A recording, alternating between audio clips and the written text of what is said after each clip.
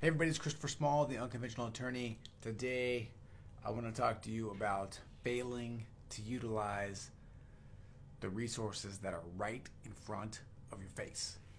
And uh, I captured this, or captured this, titled this. Um, the the you're probably the person that refused to go from WordPerfect to word. Um, before I get to that, though, I want to remind you if you have not subscribed to my weekly email newsletter aimed specifically at law firm owners um, and those of you that want to build a law firm, then you're missing out. Go to theunconventionalattorney.com forward slash newsletter um, to sign up for that.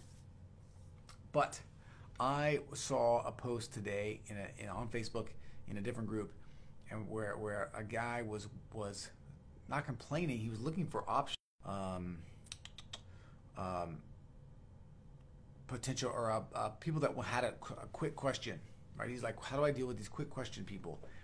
Um, but he he prefaced that by saying, and I don't want to use online scheduling tools. And my reply to him was simply, you lost me at, I don't want to use online scheduling tools, which led me to title this. You know, you probably were the guy or the person, the gal, the person that didn't want to switch from WordPerfect to word. And I, as I was writing that, I was like, God, I bet a lot of you experienced WordPerfect because when I was first starting out, um, WordPerfect was like the lawyery thing. It's what all the paralegals like to use. Like the formatting was old school. It's basically like using a typewriter. And people refused to switch, even though Microsoft Word was out there. It was easy to use. They were killing it. Something with macros or something. I don't know. But anyway, the point of this video is simply this: if you refuse to use technology that's going to help your practice that's going to help you not just make more money, but have happier clients, have happier staff, and, and um, have a happier you, then, you know, I don't feel bad for you, right? There's there are all these software uh, technologies out there that, that you can use to help you do all the things that you want. Um, you know, and to answer this guy's question, how can you deal with these uh, people that have um, quick questions for you, right? The way I handle them is this everybody gets put on the calendar. I never take a phone call ever, unless it's an emergency, and I never have emergencies because I'm in estate planning and I don't take clients that have emergencies. Period. If somebody's calling you and they have a quick question, the solution is simple.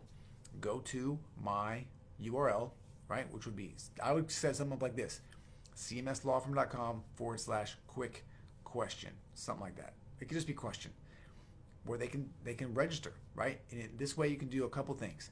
You can say um, if you're a client, they're going to have a different link anyway. So this would be for non-clients. They can go there, they can do their their quick question, and they can pay 50 bucks.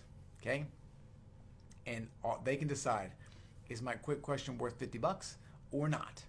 Um, and if they're a referral, it doesn't matter. They pay 50 bucks because if they got a quick question and the referral sending them your way, hopefully um, they believe that, that their answer to this question is going to be worth more than 50 bucks, or they should not be asking you the question.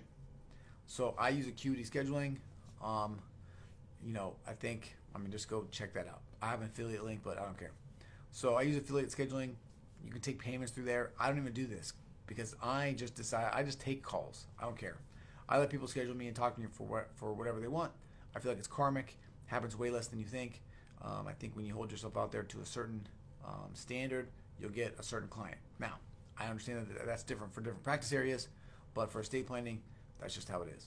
Um, so, the whole point, though, the bigger point um, inside of answering that tiny question about how to handle these quick question callers is stop being afraid of utilizing and learning new technology. Take the same time to, to, to um, apply to your business some of the same time and effort that you're taking to apply to your client matters, to your legal work. You know, the, the more efficiently um, your business can run, the better everything is. And he's making them do all these things. So, you know, like answer the phone and try to figure out is this a question that should be answered now or later? Is it worth talking to or not? That's just unfair for your staff um, because they just don't know. So that's it, right? Utilize technology. Don't be the person that hangs on to using you know a typewriter forever, carbon paper forever, WordPerfect forever. Find these new technologies, utilize them, um, make life easier for you, make life easier for your potential clients, make life easier for your clients, make it easier for people to sign up with you, and you will be happier. Everybody will be happier. All right. Last but not least, if you have not signed up for the greatest newsletter in the world, go to theunconventionalattorney.com forward slash newsletter and sign up. Every Sunday in your inbox is magic. Theunconventionalattorney.com forward slash newsletter. As always, I'm Christopher Small. I'm the unconventional attorney. If you like this video, hit the like button. If you know somebody that needs to hear it, please share it with them. If you have a question or comment, please leave it. And uh, go subscribe to that newsletter. All right, that is it. Thank you so much. Have a great day. I will see you again tomorrow. Peace.